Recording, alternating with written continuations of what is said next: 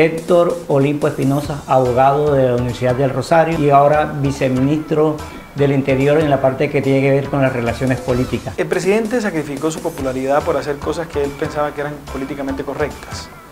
La búsqueda de la paz, el diálogo social. El tema de la mojana es muy sensible para todos nosotros. La enamoran y nadie se casa con ella. Este gobierno se casó con la mojana. Miren, eh, llegaron nuevos tiempos a la mojana, Alfonso. Definitivamente llegaron nuevos tiempos a la mojana aquí se invirtieron 971 mil millones de pesos.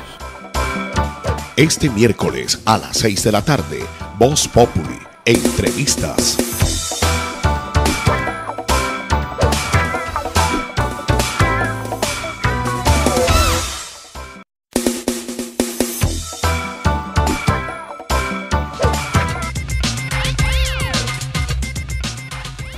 Hola amigos, ¿qué tal? Ya estamos en Voz Populi, entrevistas. Hoy con un personaje de actualidad, Héctor Olimpo Espinosa, abogado de la Universidad del Rosario, es alcalde de su municipio, cinco años como secretario del Partido Liberal y ahora viceministro del Interior en la parte que tiene que ver con las relaciones políticas. Bienvenido, doctora, a este espacio sucreño netamente. Muy buenos días, Alfonso. Gracias por este espacio eh, muy agradecido contigo y muy agradado contigo. Bueno, ¿qué quedó de esa experiencia como alcalde de su municipio antes de los 30 años, porque usted es una persona muy joven, para aplicarla en este cargo que tiene ahora? Bueno, a ver, eh, tener una experiencia tan joven eh, le ahorra a uno muchísimos años de trabajo para poder obtenerla, digamos, es como una experiencia muy intensa. Una maestría. Un doctorado. Un doctorado es un doctorado de la administración pública, un doctorado de la vida, de las relaciones humanas, de entender eh, cómo fluyen las necesidades de la gente en la región, eh, del comportamiento de los seres humanos en el territorio, en fin, para mí fue un doctorado de la vida bastante intenso. Eh, afortunadamente eso terminó bien, nosotros hicimos una buena labor y tuvimos un reconocimiento importante por la gestión que hicimos, fuimos escogidos como experiencia exitosa de municipios de sexta categoría en Colombia. Nos reconocieron un proyecto que hicimos que se llamó Cince Digital, donde entregamos internet gratis a todo el municipio, hicimos una escuela de cultura digital, mejoramos la conectividad en las escuelas y el acceso a todas las escuelas en la zona urbana y rural. Eh, y, prácticamente duplicamos las inversiones que estaban previstas en el plan de desarrollo. El plan de desarrollo estaba construido sobre una suma aproximada de 50 mil millones de pesos y terminó siendo eh, eh, eh, un plan de desarrollo de 95 mil, 96 mil millones de pesos en cuatro años, lo que indica que hubo una dinámica de gestión muy, muy alta y para mí fue altamente satisfactorio. ¿No estaba muy joven usted cuando fue alcalde? Sí, me criticaban mucho la juventud y hasta me hicieron dudar de que mi juventud podría llegar a ser un problema. La curva de aprendizaje, o sea, el periodo que me demoré en aprender, eh, fue eh, largo, pero no tan largo, no, tan largo como, como, como, yo pensaba. Y al final eh, el ímpetu termina, creo yo, compensando la inexperiencia. Yo tenía muchas ganas de sacar los temas adelante. Trabajé mucho y el periodo que perdí, los meses que perdí por inexperiencia me los gané por el ímpetu y por las ganas de sacar las cosas bien. ¿Es usted un costeño atípico? Tengo, no, tengo la, la percepción poco parrandero, ¿Le gusta más el gallo que el caballo o más el caballo que el gallo? Yo tengo una gran afición por los caballos. Tengo una gran afición por los caballos desde muy niño.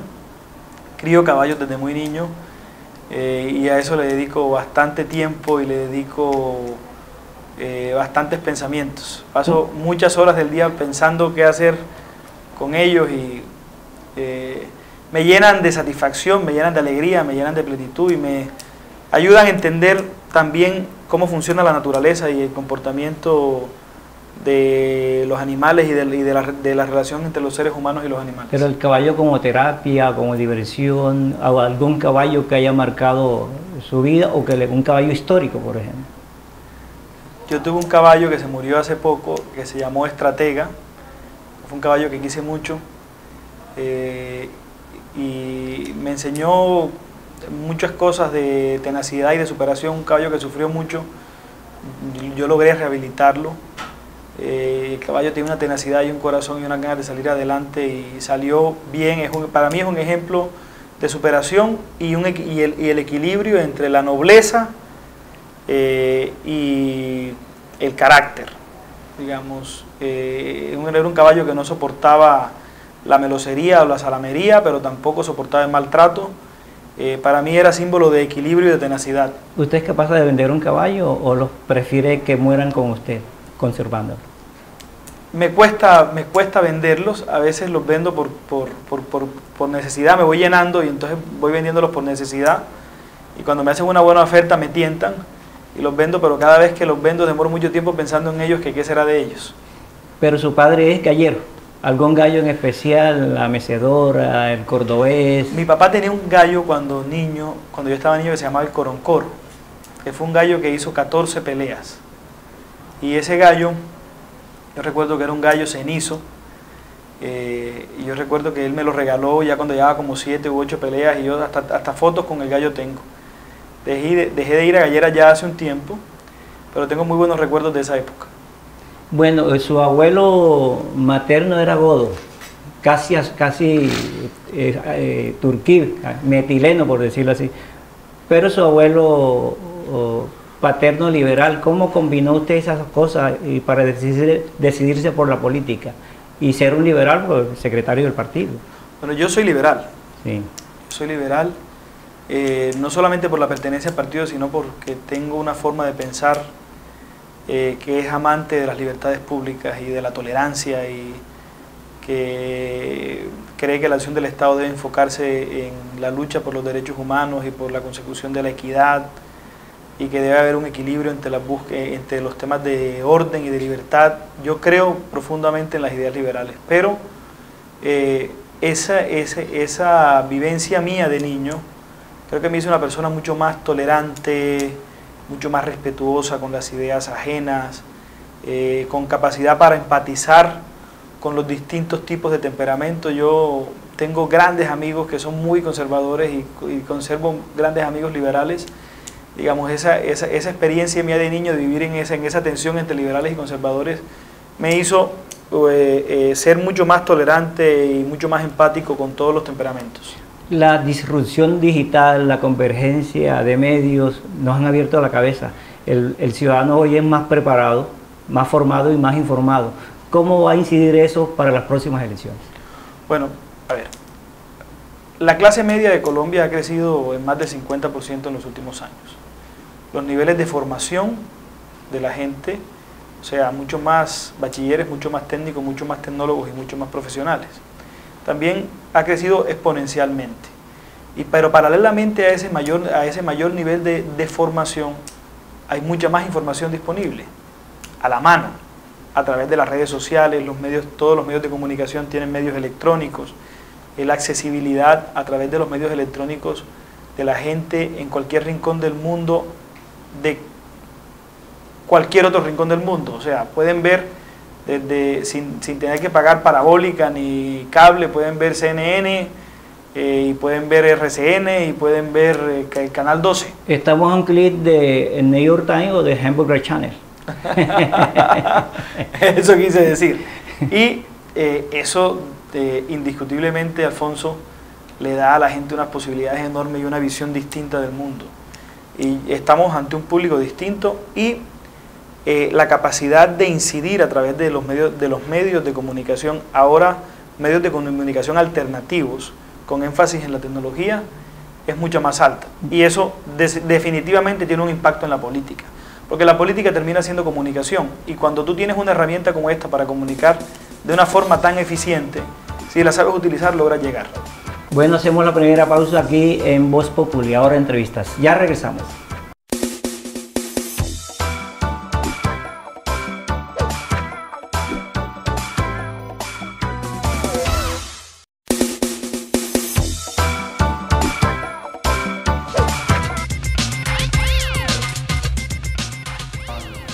Continuamos en Voz Populi, entrevistas Hoy con Héctor Olimpo Espinosa, viceministro del Interior. Bueno, continuando en Cincé y en Sucre, bueno, en todo el país, porque esto de la elección popular se ha encarecido mucho. Se gastan unas barbaridades para ser alcaldes. Eso compromete la parte económica, política y social.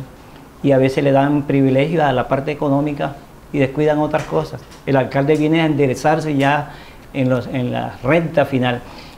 ¿Qué hacer para romper eso, para que las candidaturas sean menos costosas? Ah, yo lo, que, lo primero que creo es que tiene que haber un consenso en la dirigencia, pero no en, solo, en solo una parte de la dirigencia, sino en toda la dirigencia, porque eh, son a ellos a quienes les corresponde hacer el trabajo de concientización y eh, tiene que haber un despertar de la, de la ciudadanía. Cada día el dinero tiene que ser menos influyente en el ejercicio de la política. Cada día los intereses económicos deben estar subordinados a los intereses políticos y no los intereses políticos subordinados a los intereses económicos. Y eh, yo creo que ahí las redes sociales van a cumplir una gran labor, o vienen cumpliendo una gran labor. Ahorita, eh, ahorita con las elecciones presidenciales pudimos observar unos niveles altísimos de, de, libertad a la hora de votar. Yo creo que aquí no hubo incidencia de, de dinero en las elecciones y cada quien ejerció su voto de acuerdo a su conciencia y creo que es una, eh, eh, es una muestra de que eso es posible. Entonces creo que son tres cosas. tiene que haber una voluntad y un consenso de la dirigencia, tiene que haber eh, también un nivel de concientización del ciudadano que pienso que ya se está dando y viene despertando y debe haber la certeza de que quien infringe la ley tenga una sanción. Y esa certeza es la que va a permitir que se disuada esa forma de hacer política. ¿Y qué nos da esa certeza? La fortaleza de los órganos de control, de la Fiscalía, la firmeza de los jueces para actuar en cuanto a los delitos electorales se trata. Hay una norma nueva que pidió este, el Congreso de la República y sancionó este gobierno que penaliza, o sea, castiga con cárcel todas estas conductas, todas estas conductas el intercambio de cosas a favor de un candidato u otro. Eh, y yo creo que viene como una nueva época por esas circunstancias. Y mayor participación de la juventud, es vital en ese proceso, creo yo. Una juventud mucho más formada e informada, lo que hablamos. Eh, mayor nivel de formación, unido a mayor nivel de información, mayores niveles de conciencia. Doctor Espinosa, eh, sin que esto sea considerado como participación en política, de su opinión sobre las pasadas elecciones, tanto del Congreso, bueno, no tanto de la del presidente, sino qué pasó en Sucre y en Córdoba. ¿Sigue lo mismo o ahí se están presentando algunos cambios?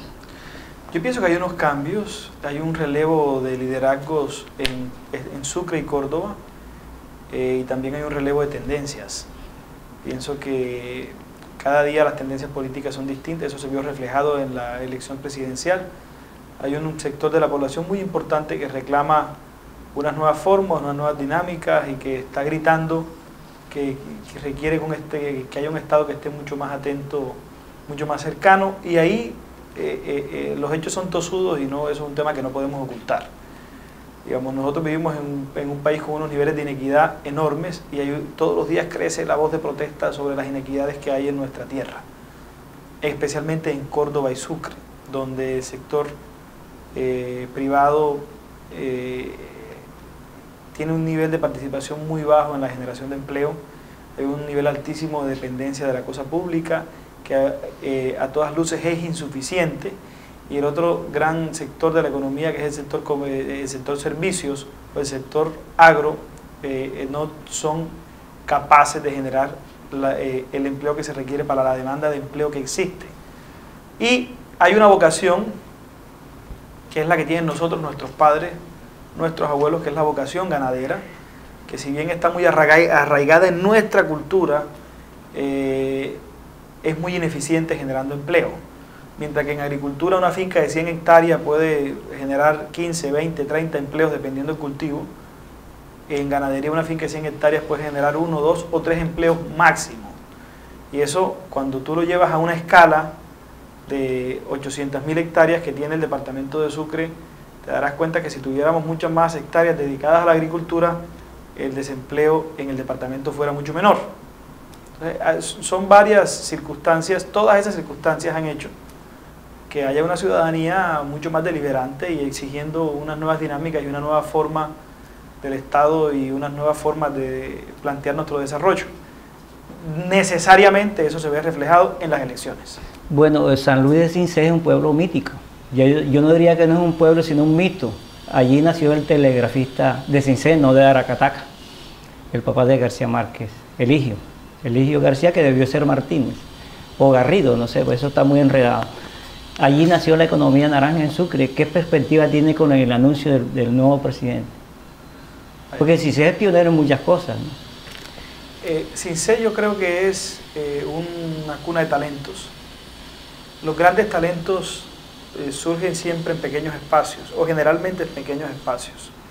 Mire esas favelas brasileras, cómo producen los grandes futbolistas del mundo, o las barriadas esas de Buenos Aires, en Palermo, por ejemplo, se producen, o en Boca, perdón, se producen eh, los grandes jugadores del mundo, y así hay pequeños espacios donde se producen grandes, talentos, y yo creo que Cincé tiene una, e, es una cuna de talentos, hay escritores, músicos, eh, Pintores. eh, pintores, hay liderazgos de trascendencia nacional eh, en el pasado, en el pasado, en el pasado ya de hace Del siglo 50 o, seis- o 100 años y en el presente siempre hay dirigencia eh, in- incidiendo en los temas nacionales y yo creo que ahí hay un tema para, para mirar qué pasa en CINCE porque hay esa generación de talentos.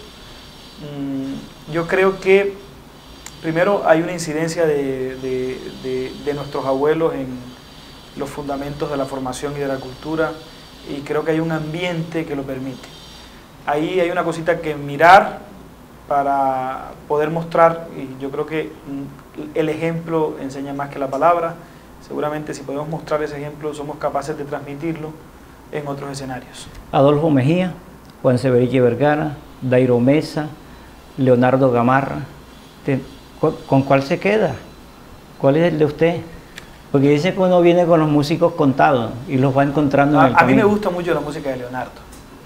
Me gusta mucho mu- la música de Leonardo. Yo, me, yo, yo crecí escuchando esa música. Eh, hay una canción que se llama El Centauro, que me gusta mucho. Tiene otra canción que se llama Imágenes, Es un poema, ¿no? que, sé que es un poema. Yo pienso que eh, nunca es tarde, pero sí nos está cogiendo la tarde para eh, que Leonardo esté reconocido en su dimensión. Ya lo vamos a presentar con el maestro Adolfo Pacheco y vamos a hacer un mano a mano ahí para que ambos se favorezcan. Bueno, ya regresamos. Gracias, Alfonso.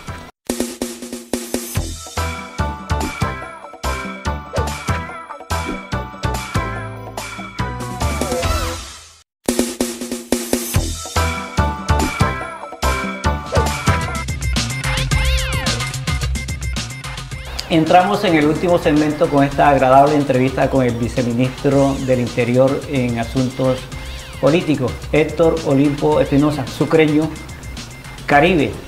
Hoy eh, ha, sido premiado, va a recibir un premio en Washington el próximo 13 de agosto, Democracy Award, no sé si estará pronunciado bien así, Napo- Napolitan's Victory Awards. Eh, ¿Qué va a llevar? ¿Va a ser como Gallito que va, a- va a ir con Liqui Liqui? ¿Qué llevaría de Cince? Eh, nosotros tenemos nuestros productos gastronómicos. Eh, tenemos un producto insigne que es la bolita de leche, que es un manjar en Cincé y en Europa y en Estados Unidos y en África y en, a cualquier sitio donde lo lleven. Y cada vez que le damos la oportunidad a alguien de que lo pruebe, eh, siempre pide más y cuando vas para Cincé no olvides traerme bolita de leche. Yo llevaría bolitas de leche a Washington, sin duda. Mm, nosotros eh, pienso que es un regalo que Dios me ha dado, Alfonso. ¿Qué es lo que es ese premio? ¿Es un premio internacional a la gestión, a- al político moderno? Es eh, un reconocimiento a políticos de Iberoamérica que tienen una historia que contar en materia de liderazgo, de derechos humanos, de consolidación de la democracia. Y hay un trabajo que se ha venido haciendo desde hace mucho tiempo y para a mí me llena de satisfacción que ese reconocimiento se me dé y creo que es una bonita oportunidad para contarle al mundo que por en estos rincones de Colombia se hacen cosas y se hacen cosas muy importantes para construir país. ¿Le toca intervenir a ustedes durante el recibimiento del premio? Yo creo que me toca intervenir y me toca dar entrevistas y eso en medios de ¿Pero en comunicación. español o en inglés? En español. Ah, bueno. Eh, eh, con relación a, los competidores que, este, que cayeron, por decir alguna cosa, creo que estaba Juan Carlos Pinzón, ¿quiénes más estaban eh, aspirando a ese premio? ¿Y cómo, cómo fue la postulación? ¿Lo postularon? Más que, más que competidores, yo entiendo que hubo postulaciones de mucha gente, pero las postulaciones no tenías que hacerlas tú directamente, sino que la podía hacer alguien que considerara que tú tenías las condiciones para ganarte ese premio. Unos amigos me llamaron eh, un amigo que trabajaba en la Federación Colombiana de Municipios que conocí cuando fui alcalde me llamó y me dijo, tú tienes una historia bonita para contar de lo que has hecho y de lo que vienes haciendo, eh, postúlate y ellos procedieron a postularme y eh, me llegó la notificación. Me han dicho que habían otros líderes importantes de Colombia postulados en eso, pero no sé que salió la, la doctora Marta Lucía Ramírez, la vicepresidenta de la República, también galardonada en ese mismo premio, pero no, no, tengo claridad de quiénes más se presentaron. Bueno, eh, con relación a este gobierno que termina, a mí personalmente me es simpático, porque yo creo que se lograron cosas importantes, pero ¿por qué el presidente termina con tanta baja popularidad? ¿Qué pasó? Hombre, el presidente sacrificó su popularidad por hacer cosas que él pensaba que eran políticamente correctas. La búsqueda de la paz, el diálogo social, eh, eh, la inclusión de Colombia en la OCDE, la suscripción de muchos tratados de libre comercio y de alianzas comerciales con el mundo. Eh, y él decidió eh, cambiar algunas prioridades en la agenda en cuanto a lo que venía del gobierno inmediatamente anterior. Y él tuvo unos resultados muy positivos para el país, pero la comunidad venía acostumbrada a un modelo de gobierno distinto, un poco más cercano, eh, con un diálogo mucho más directo con las comunidades. El presidente Santos hizo un gobierno eh, técnicamente muy bien construido. Eh, los resultados están a la vista en infraestructura, en salud, en educación, en empleo, en seguridad. Digamos, las cifras son contundentes en cuanto a resultados, pero yo creo que, tiene que es mucho más algo que tiene que ver con sus atributos personales. ¿Sí? ¿El no es buen comunicador? Digamos, yo no, más que, más que, que, no sea buen comunicador, creo que tiene una forma de comunicar eh, muy, muy, muy rigurosa. Si tú analizas sus discursos, él es muy riguroso, la construcción de sus discursos, de sus frases, todo lo planea muy bien, eh, él es muy técnico en su actuar como gobernante y también es muy técnico en todos los aspectos de su vida personal. Eso se ve reflejado en él, en su, forma de comportarse. Eh, eso hace que sea incomprendido por muchos sectores de la población que creo que van a valorar con el tiempo eh, mucho más lo que ha sido su obra de gobierno. Yo no voy a decir si fue mejor o peor un gobierno o el otro porque no quiero entrar en esa discusión pero lo que sí le puedo decir es que el, gobierno de Juan Manuel Santos fue un muy buen gobierno. Hay unos resultados que son contundentes en todas las áreas, en todos los sectores. Seguramente no fue perfecto, hay equivocaciones y cosas por resolver, eh, pero yo trabajé en un gobierno en que fue un gran gobierno. Bueno, el tema de la mojana es muy sensible para todos nosotros, inclusive para, para Latinoamérica como futura despensa del mundo si la logramos desarrollar. La enamoran y nadie se casa con ella. Este gobierno se casó con la Mojana. Miren, eh, llegaron nuevos tiempos a la Mojana, Alfonso. Definitivamente llegaron nuevos tiempos a la Mojana. Aquí se invirtieron 971 mil millones de pesos por parte de una entidad que se llama el Fondo de Adaptación, de la que yo soy parte de su consejo directivo. Y se, se hicieron 6 mil casas, casi 50 colegios eh, proyectos de saneamiento básico, proyectos de infraestructura de transporte, proyectos de desarrollo económico. Todo ese tipo de cosas se hicieron en La Mojana. Ayer hicimos una rendición de cuentas la gente está muy agradecida. Tres cosas coincidieron en La Mojana. Primero, la voluntad del gobierno nacional. Segundo, la voluntad de la sociedad civil organizada a través de un comité que se llama Codemojana que hacen una gran labor de articulación entre la ciudadanía, el Estado local y el Estado nacional. Se reúne la sociedad civil, los gremios, todos, alrededor de un propósito común que es el desarrollo de la región. Eso ayudó mucho a poder materializar eh, todos estos logros y todos estos propósitos. Y la voluntad de los gobiernos locales, también ha habido voluntad de los gobernadores y de los alcaldes para sacar eso adelante. Yo creo que cuando esas tres cosas confluyen, el desarrollo viene. Todo eso se suma a una gran diosidencia que es la ola invernal del año 2010-2011. Que todavía sigue impactando. Esa ola invernal tuvo un impacto muy fuerte en esa región.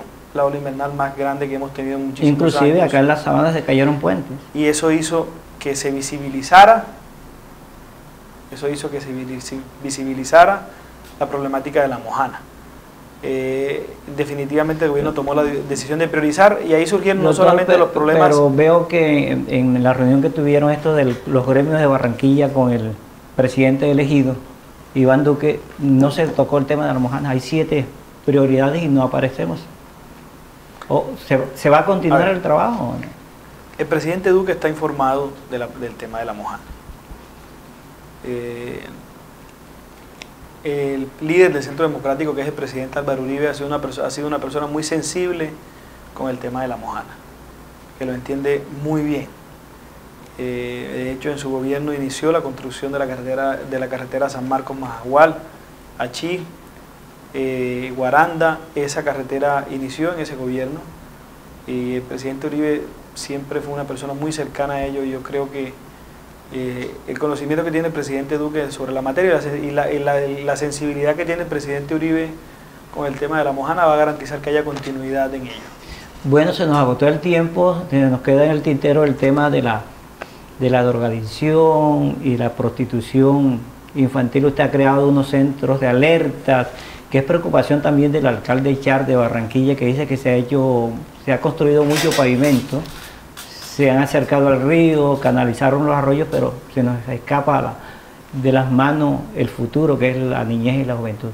Tendremos la oportunidad de hablar en, en Unisucre FM Estéreo y Radio Caracolí. Finalmente, doctor Héctor. Yo le cuento con un minuto eso. Sí. Regáleme un minuto. Un minuto.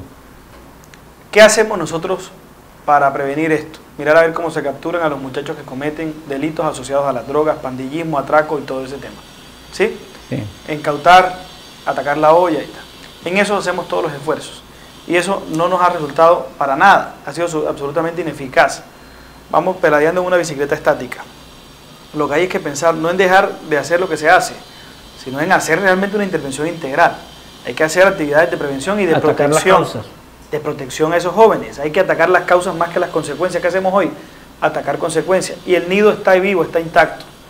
Si no atacamos el nido, que es ese contexto social, ese barrio, esa comunidad, donde se reproduce el delito, ¿cómo vamos a resolver el problema? El nido sigue intacto y seguimos, sigue produciendo de, eh, delincuencia, sigue produciendo problemas de seguridad y convivencia y no lo resuelve. Hay que atacar el nido, que es donde se producen los problemas. ¿Y cómo se ataca? Fácil.